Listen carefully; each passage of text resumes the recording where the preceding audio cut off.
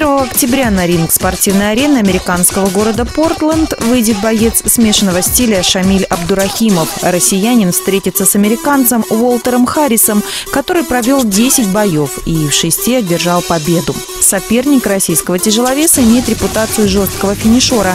Такие подробности спортивной биографии Уолтера только подхлестывают Шамиля. Россиянин готовится к бою в спортивном клубе «Скорпион» поселка Горки-2. И этот выбор в его судьбе не случайен. 哇！Спортивный клуб «Скорпион» поселка Горки-2 был открыт в середине 2000-х. Здесь он появился вслед за столичным. Специализация – тайский бокс. Тренеры-бойцы муайтай мирового уровня, герои рингов. Об истории клуба повествует мини-музей, в котором хранятся медали, кубки и чемпионские пояса. Из клуба «Скорпион» вышло немало профессиональных бойцов, которые уже теперь сами учат ребят в разных странах мира. Эти все достижения, все то, что результаты, которые вы видите здесь, и там, в основной части это являются, как бы, можно сказать, уже ветеранов нашего клуба. Те, которые практически здесь и есть. Это малая часть тех ребят, которые представляли наш клуб в прошлом, ну, и являются ветеранами, все, потому что наш клуб уже в следующем году будет праздновать 20 лет. Вот, например, вот вторым, вот фотография, вот то, что висит, это Абдулла Гуснеев, он является чемпионом мира среди любителей, чемпионом Европы среди любителей.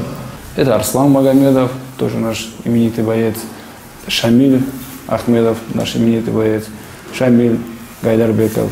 Так, это Шамхал Керимов, он как бы тоже является нашим другом и тоже этот ну, сам выступает за сборную России в, в таком виде спорта, как кудо. Это малая часть, кто здесь есть. Такие есть у нас как бы ребята, как Магомед Исмаилов, многие знают как его, как Овра.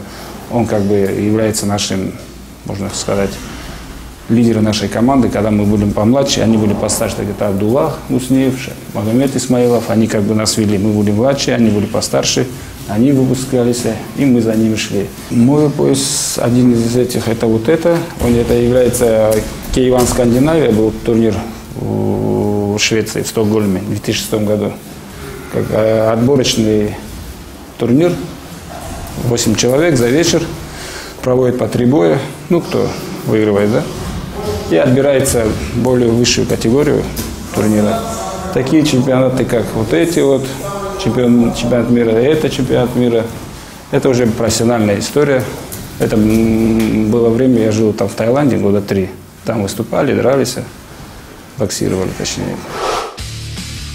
Знакомьтесь, Магомед Магомедов, тренер Шамиля Абдурахимова и выпускник спортивного клуба «Скорпион». Свой путь бойца Муайтай начинал на родине, в Дагестане. Выиграв все возможные состязания в любительском спорте, перешел в профессионалы и стал частым гостем боев К1. В музее клуба находится его чемпионский пояс. Administer ways to set the world ablaze. Tracks flamed, untamed bass raps unchained. Oversee us, all the skies turn gray. Doomsday, tidal waves from the US to the UK.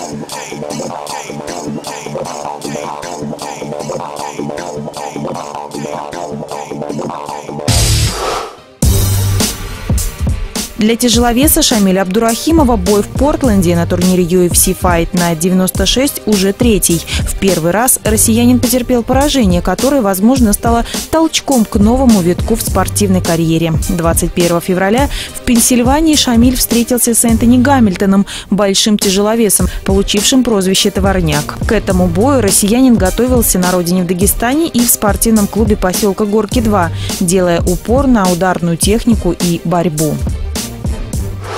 У нас смешанные наборцы, каждый умеет боксировать, бороться. Но он больше боролся, физически больше был.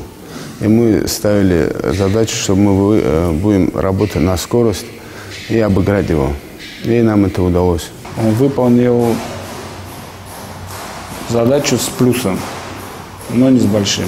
Не с тем, которым мы его подводили, потому что питать то, что мы ему дали, за у нас был как бы трехмесячный цикл подготовки, все это он не смог впитать сразу. Для него было практически там, ну, 80% новое. Потому что он с тайским боксом вообще не сталкивался. Он был бойцом Шусаньда, там где-то вот так, ну, дрался, да. Для него это было новое. То, что мы им даем, он не мог впитывать, потому что и, ну, очень новое и тяжелое это. Не скажу, что он старый, ему тяжело впитать. Он слушает, он работает, но ему тяжело это давалось. Но в бою он себя показал очень хорошо. Он собрался. Самое главное, что нужно было сделать, мысленно все, и выступил отработал хорошо. Бойцом смешанного стиля Шамиль стал 10 лет назад. До этого успешно занимался боксом, борьбой и ушу саньда. В последней дисциплине стал пятикратным чемпионом России. Спортсмен славится своим твердым характером, колоссальной работоспособностью и уверенностью в себе. Быть одним из 50 сильнейших тяжеловесов в мире по версии ММА – это большой труд, в котором Шамилю помогают именитые наставники. Я очень много видов спорта занимался с детства еще. Бокс, и представлял еще Санда, тайский бокс начал здесь, Горки 2. И борьбой занимались. Все по чуть-чуть. И все перешло в ММА. Здесь очень прославленные в прошлом бойцы собрались, и они все мне помогают в этом. У них большой опыт, так что они мне передают этот опыт, и я принимаю ее. И работаем. В этом зале Шамиль Абдурахимов проводит 6 дней в неделю, воскресенье выходной. До этого были три недели в Кисловодске, работа со сборной командой России. В зале спортклуба Шамилю помимо наставников помогает его брат, стоящий в спаррингах. Особенность предстоящего боя в том, что соперник Шамиля – левша, поэтому рисунок боя приходится корректировать. Я знал, что это очень тяжелый труд быть тренером, психологом, учителем, педагогом. Это, это очень тяжело. Он знает, что он хочет, я помогаю достичь тому, чего он хочет. И здесь не может быть у нас там оспаривание того, чего я сказал. Я говорю сделать там, отжаться 20 раз, нажимается 20 раз. Такие бойцы муай-тай?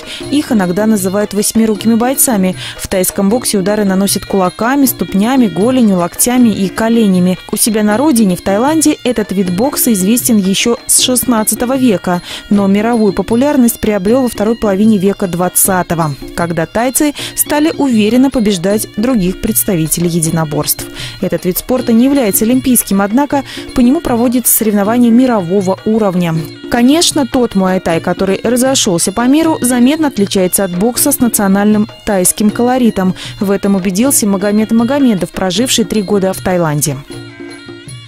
Везде, где можно было по России побоксировать, мы побоксировали, и уже был как бы застой.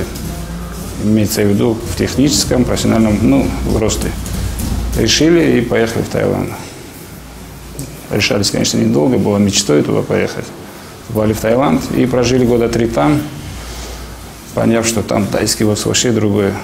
Правила, технические действия, оценка, все там вообще по-другому чуть-чуть. У нас более он такой смешанный с кикбоксингом. А там чисто свои тайские правила, свое тайское ведение. Можешь смотреть бои тайские и думать, что этот выиграл, поднимает руку тому, и весь стадион не этому не удивлен. Все знали, что он выиграет. А для нас было введение в то, что этот парень выиграл.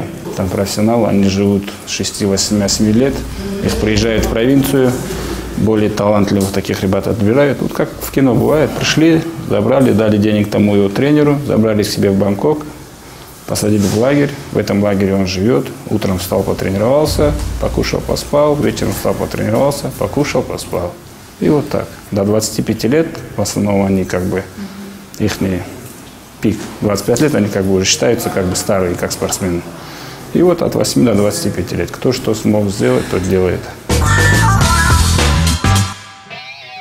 Профессионалам тайского бокса из спортклуба «Скорпион» тяжеловес Шамиль Абдурахимов обратился перед своим боем с Гамильтоном. С этой командой спортсмен работает в преддверии новой схватки с американцем Уолтером Харрисом. Успех и удача – это важные составляющие победы.